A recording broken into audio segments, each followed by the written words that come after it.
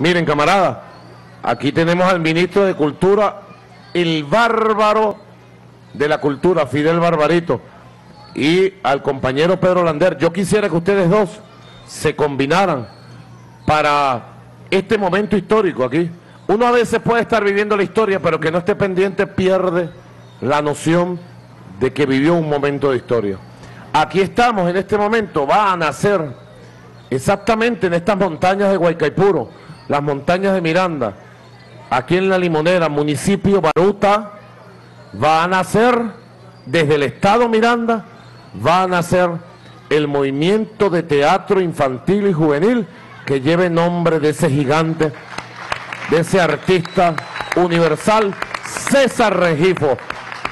Adelante, Fidel Barbarito.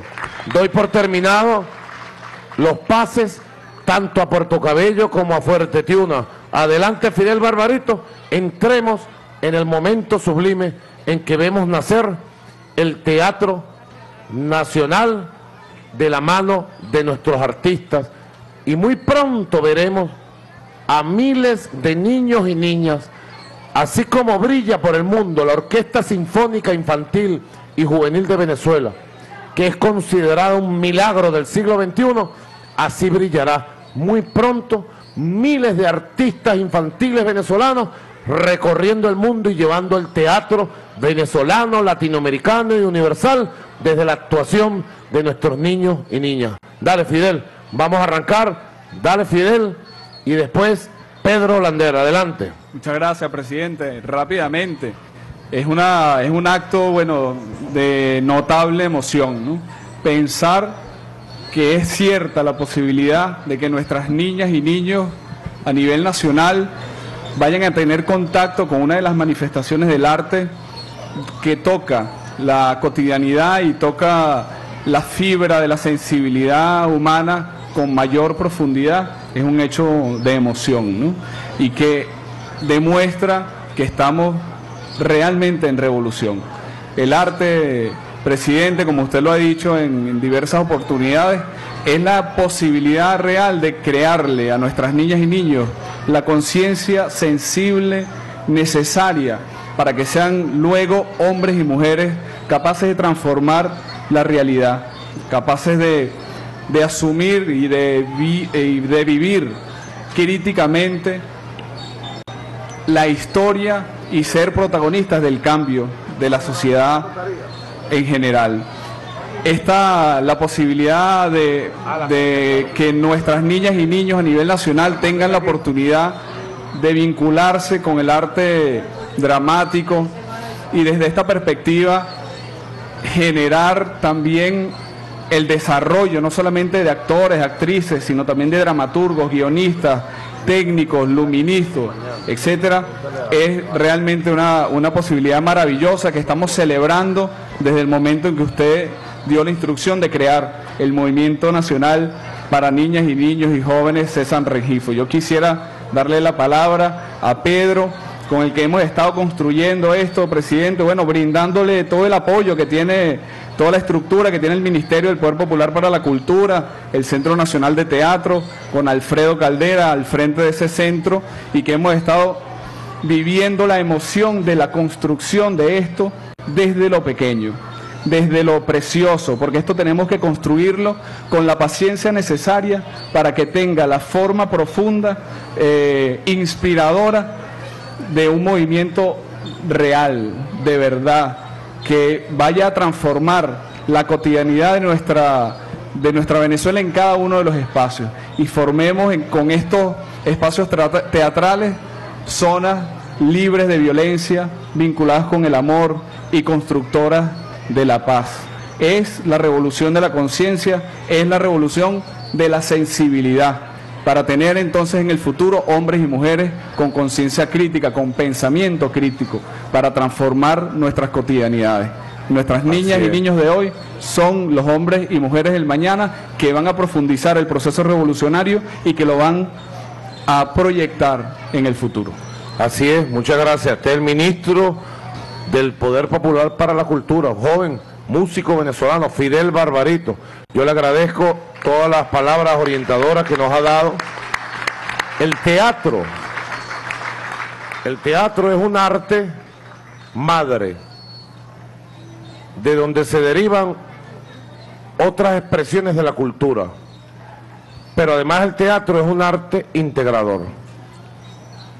Aquí nacen y se integran la poesía, la novela, la escritura, el ensayo. Del teatro surgió el cine después, las películas, las novelas. Del teatro se integra la pintura, la creación artística, plástica. El teatro es madre e integrador. Sobre esto yo diría dos cosas. Hoy que nace el movimiento, un movimiento que debe ser integrador y liberador del alma.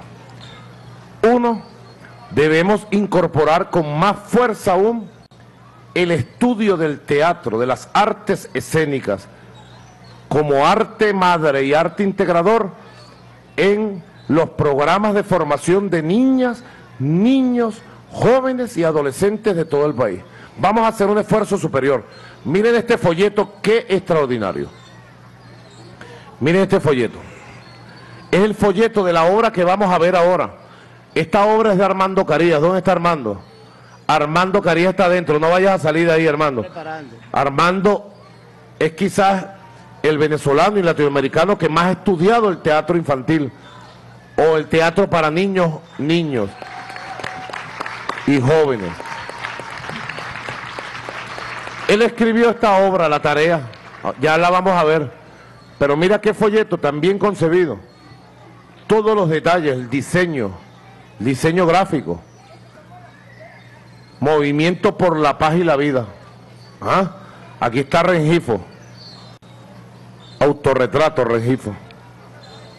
Nada más estudiar la historia de Rengifo lo llena uno de emoción. Miren, aquí está una de las obras llamado El Pequeño Mago, año 73, al óleo. Lo dice todo. Miren la combinación de los colores. Un niño haciendo títeres. Títeres para alegrar. Está como proyectado de la época, ¿verdad? Un niño haciendo lo que estamos nosotros fundando hoy. Haciendo teatro, alegrando el alma, transmitiendo valores. Vamos a reforzar entonces, compañera María Hanson, compañero Pedro Calzadilla, a todos los niveles de la educación. Vamos a colocar como algo especialísimo el estudio de las artes escénicas del teatro, la historia del teatro venezolano, latinoamericano, mundial, y a partir de ahí la creación de los grupos de teatro infantil o de niños y niñas. Miren, lo que vamos a provocar es una revolución cultural sin parangón en la, en la historia de la patria. Más o menos pasa como en el deporte. El deporte llevarlo de deporte de élite a deporte de masas, masificar el deporte. ¿Qué resultado ha tenido? Una generación de oro que gana medallas olímpicas, mundiales, panamericanas. Ahora vamos a una masificación del conocimiento, de la cultura, de las artes. ¿Para qué? Para sembrar y recoger inmediatamente una cosecha hermosísima. ¿Cuántos grupos teatrales, Pedro Lander, vamos a formar en cuántas escuelas en el arranque de estos primeros meses del Movimiento Nacional de Teatro Infantil y Juvenil?